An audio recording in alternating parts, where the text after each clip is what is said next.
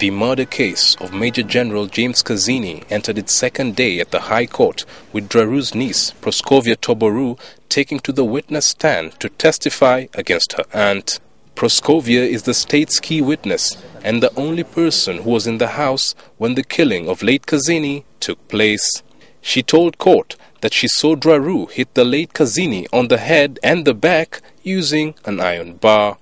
Proscovia, however, contradicted some statements she had earlier made to police in today's cross examination, prompting the defense lawyer to question why court should believe her testimony.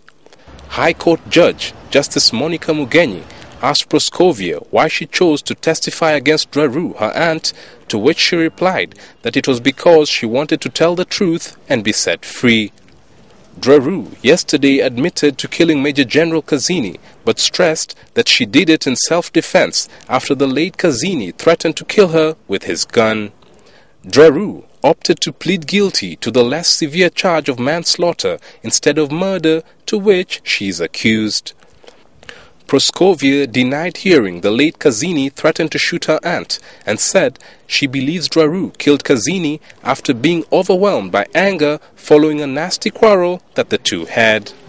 Court adjourned the case to tomorrow at 9 a.m. after the state asked to produce four more witnesses to the murder case.